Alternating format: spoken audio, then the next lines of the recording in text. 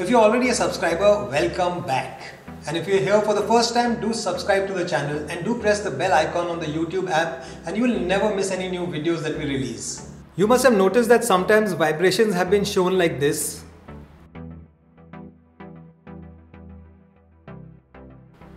And other times they are shown like this. So it must be confusing. So in this DIY, you will be able to see that both are actually the same.